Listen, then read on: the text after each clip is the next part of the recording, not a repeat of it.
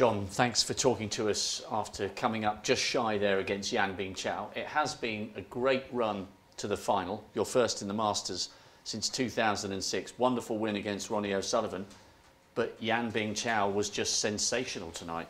Yeah, he, he just never went away. But When I got my, my nose in front, as I said, I had a couple of chances to to to go away from him. I think I could have went 6-3 and I, I should have maybe also been in control to maybe go 8-5.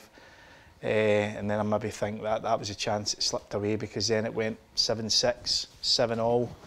I should have cleared up uh, to go 8-7. It was unforgivable. The, the way I landed on the brown uh, to, to clear up to go 8-7 in front. But yeah, then I'd, I'd done a decent break to go 8 all, but he just badly disappointed at the end there. He, he, he missed a red that I never thought he would miss, and then I went in and red black, and I, I made I made a backside of the, uh, the position for the next shot, and then I then I just threw it through my arm at one of them. So yeah, disappointed, disappointed.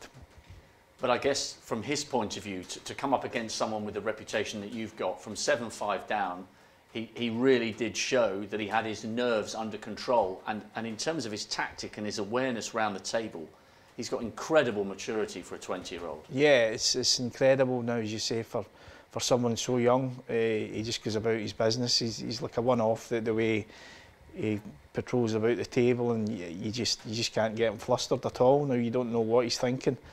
Uh, so no, listen, a great a great achievement winning the Masters at 20 years old. I don't I think maybe Ronnie was maybe younger than that, but that, that that's all. So yeah, an unbelievable achievement for him and as I said, the sky's the limit for him. And will you take confidence from this run to the final? Yeah, obviously a couple of days maybe it'll sink in and maybe obviously think about it. But but as you say, right now, right now, I probably it's the sickest I've been in a long time, long time. Yeah. Well, if it's any consolation, you have played some wonderful snooker to get to the final. Thanks for talking to us, John. Cheers, Rob.